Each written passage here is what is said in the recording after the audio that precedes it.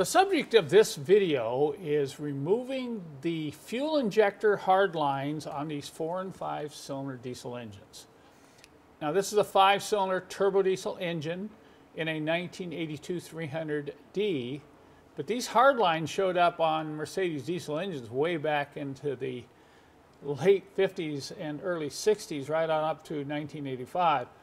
Now there's a number of reasons why you'd want to remove these. Number one, you may have to rebuild your fuel injectors or test them. Okay, so you're going to have to remove all these lines to get to the fuel injectors. The second reason is you may want to do a compression test. And in order to do a good compression test, the way I like to do it is you want to do it through the holes in the fuel injector, so you need to remove these lines. Another reason, which isn't necessary but does make the job easier if you can get these off quickly, is anytime you change all four or five glow plugs, it's easier if you can get these lines off, okay? Now I'm saying quickly. If you struggle to get these off, sometimes it's just about as easy. Now there are one or two glow plugs that are easy to get to, and you wouldn't need to remove the hard lines, but I believe anytime you're going to replace all five glow plugs or ream the carbon out of the glow plug holes, just take these lines and remove them, but remove them as a set. And if you have the correct tool, Watch here, and I'm going to show you how these can come off quite quickly. Here are your options for removal. These are 17 millimeters, so you can use a 17 millimeter wrench. It's a little tricky to get in here. Sometimes you have to get underneath like this, and, and you don't get much travel, so you have to kind of work it around inside the lines here. But this is kind of tough down here because you don't have a lot of clearance. You can only loosen these up and turn it just a little bit. See that? with an open end. So we came up with a wrench that we modified here in the shop to reduce the width right in here and to put an angle on it. Now this makes it much easier to get on these and you can see you get more travel than you would with a normal open end 17 millimeter and this angle helps you to clear those hard lines so you get a little more travel. This wrench works quite well but the wrench I'm going to show you now was specifically designed for this job. Look at that. You can see you can go right in here and get on that nut and look at the travel you've got. Same thing down here is you can go in and get on the top of these nuts and you can get almost a half a turn of travel even on these lower ones that are really close together. So this is my wrench of choice and watch now as I demonstrate removing all five of these hard lines together. The first step is to come in here and, and unhook any of these vacuum lines or wiring that are clipped onto the hard line, so those are free, okay? And then what I do is I loosen the bottom ones first. I don't completely take them off, but I loosen them enough, but I loosen each one about a half a turn.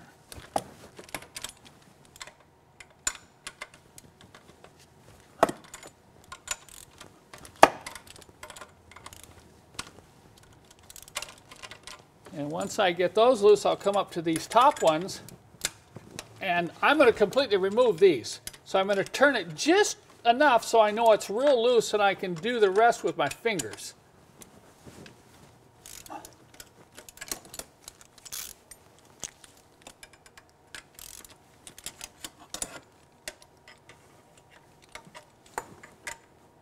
So you have a lot of different angles you can get to, like on this uh, Number three, I can get to it over the front like that and then get the torque this way.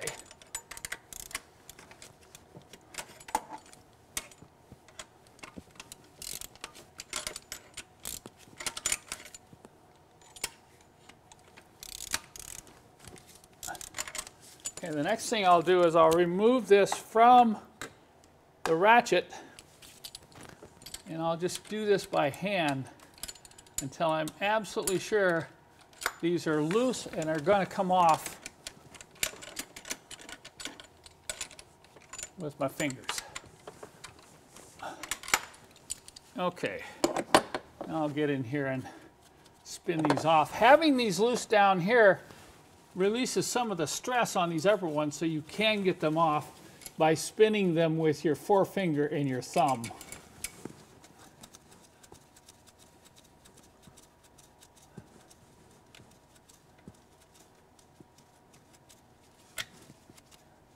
If it gets a little tight, you may have to come back in and just get the rest of it off with the wrench.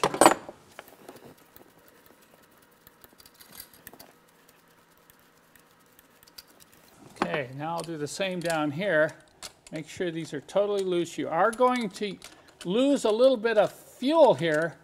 So I'm going to stop right now and put some paper towels right underneath these delivery valves so the fuel won't leak down onto my motor mount. Okay, now I can remove these by hand.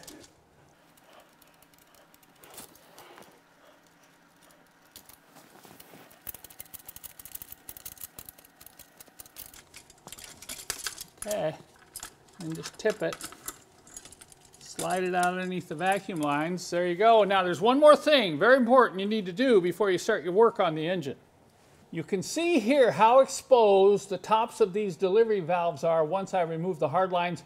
You do not want to get any dirt down in here. You're going to have a problem. You can even damage a fuel injector if you happen to drop some dirt down in here. It gets up into the line. So before I start working on the engine, doing anything else, removing the injectors, I am going to put protectors over these. If you don't have these, you could use a shop towel. But I like to use these because then no lint can get into these either. I'm using silicone caps and I'm just going to put a silicone cap over each one of these delivery valves.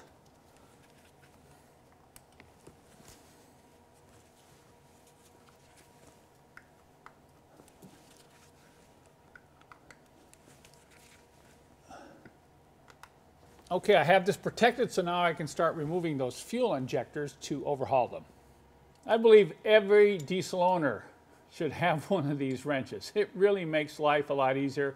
I'm going to try to get the price low enough. I think I'll include these silicone caps with the wrench, but there's one other wrench that can be purchased separately, and that's the special wrench I have engineered here in the shop to get these hoses on and off easily.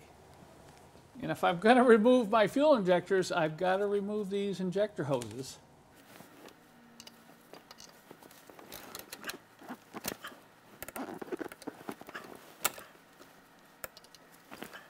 If the hoses are fairly new, this wrench will actually prevent damaging them so you can reuse the hoses. But most of the time, if these have been on for any length of time, you need to replace these rubber fuel injector hoses or you're going to have leaks.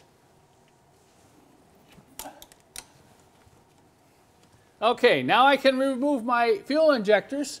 When I get those rebuilt, I'll come back and just quickly show you how I get the hard lines back on quickly and safely. Okay, just a couple tips on reinstalling these hard lines. I've done the compression test, I've rebuilt the injectors, we've torqued the injectors. I'm ready to put these back on as a unit and first I'll go ahead and remove these silicone caps and start with the bottom nuts. Notice I've left this paper towel here to keep any fuel from dripping down on your motor mount. That's extremely critical on these diesels. And we'll get these out of the way. And I'll just set this in place and line it up. The reasons I start the bottom ones first is they're they're the most difficult ones to get started. So just maybe two threads, that's it. Just to get them started.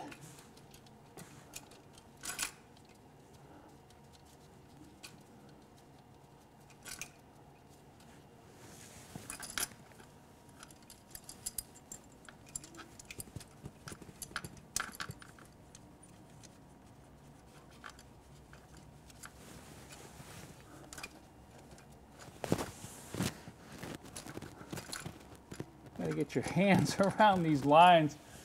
Okay, this is not quite lined up, so I'm going to give it a little twist there. Okay, I've already started. Now we'll start the top ones. By leaving them loose, it allows me to, if I have to bend these a little bit, that's okay. You do not want to force these on. They should go on with your fingers. Now see, this one needs a little bit of tweak. Push it down And it should start by hand. If it doesn't start by hand, you want to go ahead and bend it a little bit. Here's another one that's slightly off. Let's see if number one will go. Okay. Number two needs a little tweak. A lot of times when these get messed with because people take the injectors out and bend the lines without taking the whole one off. Now look at number three there. See, it's slightly off, so you don't want to force that. So I'm going to take, just bend that down a little bit, line that up. And now, let's see if this one starts by hand. Okay, they're all started by hand. Now I'm going to use the wrench, and I don't need to show you this whole thing in the video, but I'll use a wrench and get all these turned down like this. And I'll tighten these down tight. Then I'll come back and I'll run these in until they're kind of stuck, and then I'm going to back them up a half a turn. And I want to leave these loose at the top until I do the bleed procedure. Now you're going to have to turn the engine over. You know, I'm not going to cover it in this video because I have lots of videos about bleeding the system, but you're going to have to use a primer pump, pump up the system, turn the engine over with the starter until you see fuel coming out of each of these injector lines at the injector. Then we can tighten those down and we're ready to go. As a final note, you might want to come back in and check the torque on each one of these clamps and you should be good to go. So you can see why I think everyone should have one of these wrenches. What I'm going to do is offer this on my website and I will include a set of those silicone caps at no extra charge if you purchase this wrench from Mercedes Source.